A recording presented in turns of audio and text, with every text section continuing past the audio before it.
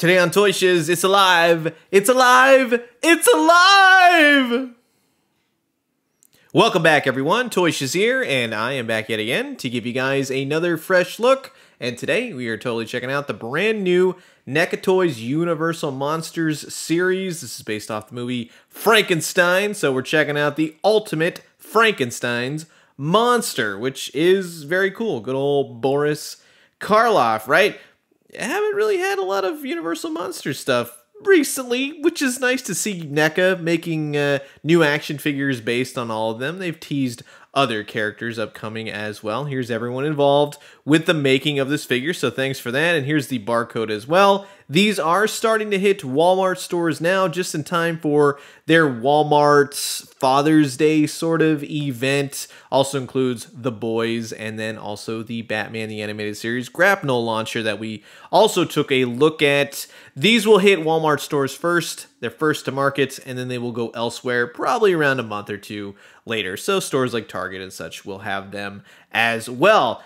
And in true NECA fashion, open it up, and you get to see a nice photo of the figure and the figure itself. So very cool. This one looks like it comes with a lot of different stuff, a lot of different head portraits. So I'm excited to check this guy out. So this is going to be fun. Sit back, relax, grab yourself a monstrous cup of coffee. This is a look at the brand new Universal Monsters Frankenstein movie Ultimate Frankenstein's Monster by NECA Toys.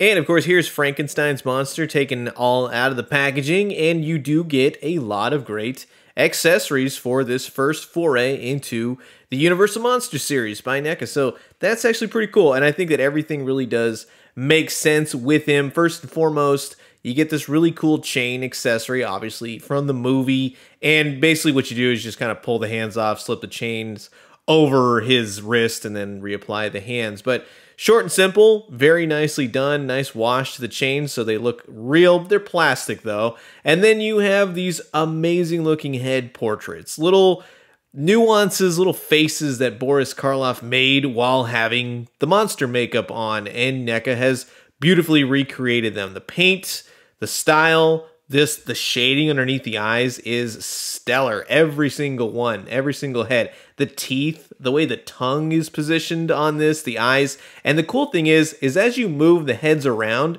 you really achieve different looks for the character. It's a man of many faces so to speak huh? And then you get a couple different hands, more like, you know, his hands are out, kind of walking sort of deal. Or maybe he's saying hi and you get the flower holding hand right there, so that works as well. Yeah, just the way the fingernails are painted, the way that it's just colored is very cool. More of a whatever you want to call this kind of hand. Yeah, the fingers are all going every which way. And then you have another one of those outstretched hands as well. Couple flowers from that famous, famous scene, of course. Uh, uh, horrifying. Anyways. one flower and a pair of flowers, and they're nicely done. Very simplistic, of course, but the real stellar shine right here is the monster himself. Boris Karloff brought to life action figure form in 2021 and it's just it's a stellar looking action figure stellar beginning to the universal monsters and i think that if you're a universal monsters fan you should be very excited on what they will be bringing shortly i think that they're going to knock it out of the park very simple figure if you think about it, largely all black, but the monster pieces, all the different scarring, the hands, the fingernails, everything on the head is supremely detailed. The bolts on the neck, the little bits of flesh, blood, everything else that's sort of sticking out, the gash on the side of his face.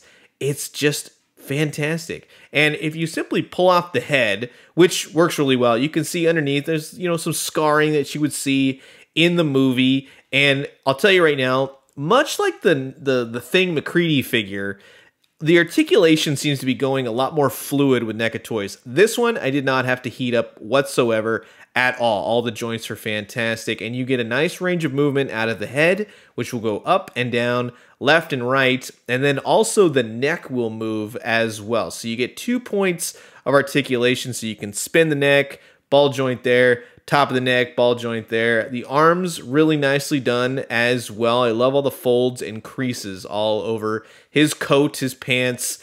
into the elbows and whatnot. He will spin at the elbows, but he does have single jointed elbows as well. And like I said, didn't have to do much, heat this guy up, nothing like that. Just came right out of the box and worked nicely, which is great to see because when I talk about like turtles and stuff, yeah, that's usually got to heat him up. He does have an ab crunch. It's not like a full on where he's going to keel over kind of thing.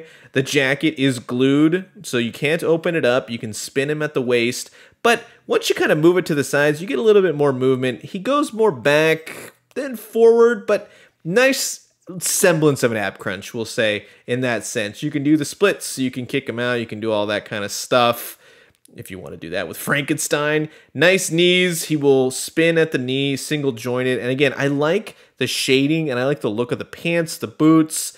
They will kind of go up and down, more so rock left and right. So you get more movement side to side than up and down. But really, this is a great articulated Frankenstein's monster action figure. It's just gorgeous.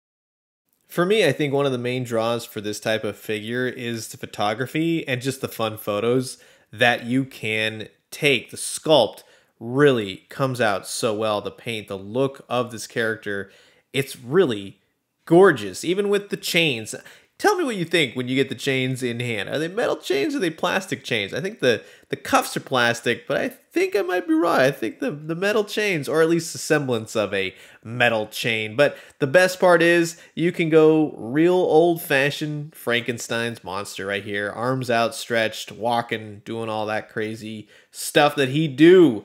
In terms of recent NECA figures, I have noticed a change in how certain figures from NECA feel. They're less brittle in that sense, right? I'm telling you more and more, yeah, you don't have to heat them up. Now, I hope that that trend does continue because they're great figures, and for the most part, I do just keep them right on my shelf. But on the off chance I want to move them around, do something with them, the last thing I want to do is have something snap or fall off. And I'll be quite honest with you, again, from looking at the MacReady figure and now to this Frankenstein, and having not to have to heat up anything and not really feeling like anything's going to break or fall off, it's a really nice direction for And if you're looking for scale wise, let's say with Marvel Legends, of course he'll tower right over him. With the Ninja Turtles, in certain aspects, yeah, you could say Archie Turtles met uh, Frankenstein, so they go together, sort of deal. But these really are horror movie monsters, makeup effects, everything, and NECA translates that so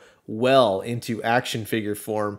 It's just fantastic. I can't even tell you. Also, let's say with McFarlane Toys, Spawn, Spawn versus Frankenstein, sure, you could do that. Ghostbusters, yeah, that could happen all day. That's really cool, you know, just make sure old Frank's real, right? But true to the heart, this is what really made me think of everything was the original Kenner Frankenstein's Frankenstein's monster, whatever you want to call him, Frankenstein, right? Everybody knows him as that. But just really cool to see after all these years to go from a simple outstretched arm look a toy to a realistic Boris Karloff right on your shelf.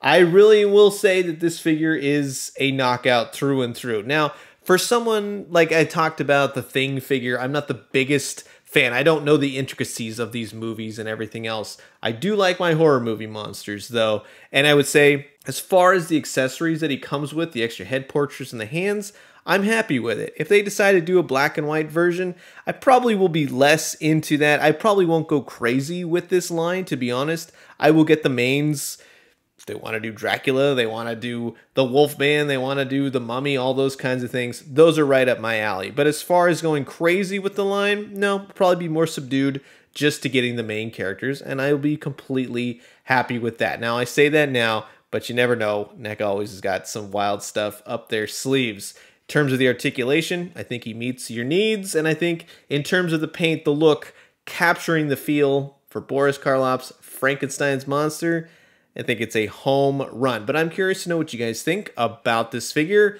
Have you picked him up and will you be grabbing? What are your thoughts? Comment below, let me know. Let's talk everything Universal Monsters and which Universal Monster would you like to see them do next? And I'm going to leave you guys with that. As always, drink some great coffee, eat some great food, but most importantly, remember when it comes to Universal Monsters, well, they're just the monsters, they're just misunderstood. That's all it is. And when you do, let me know what you found. I'll talk to you guys soon. Adios.